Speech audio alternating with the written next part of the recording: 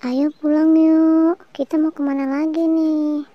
Ya bentar, kita duduk situ dulu yuk, menikmati indahnya malam. Wah, enak juga ya malam-malam nongkrong di sini walaupun suasananya rada-rada sepi dan dingin.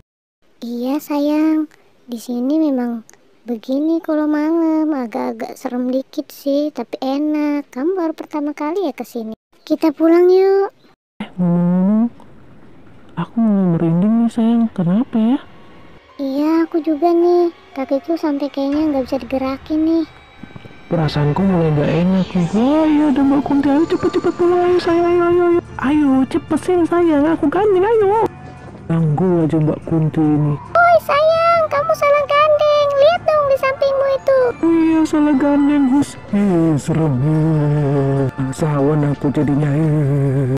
Kalau kalian berduaan di tempat gelap, yang ketiga adalah saya.